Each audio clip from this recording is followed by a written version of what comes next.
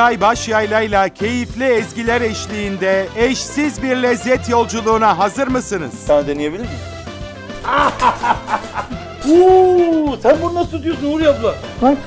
Bu haftaki durağımız doğası ve tarihsel zenginlikleriyle ünlü Anadolu'nun en eski kenti Bursa. Bu hafta Osmanlı Devleti'ne başkentlik yapan Evliyalar Diyarı, tarihi ve tabi güzelliklerin şehri Bursa'da. Odun ateşinde pişiyor. Yağları böyle oraya damlıyor. İnsanın iştahı kabarıyor. Bursa'nın güzellikleri ve yemeklerinin büyüsü bizi peşinden sürükleyecek. Kazlar beni çağırıyor. İşte pideyi yapıp geliyor, geliyor. En azından bal tutan parmağını yalar, kestanenin kalanını sıyırma şansımız olur.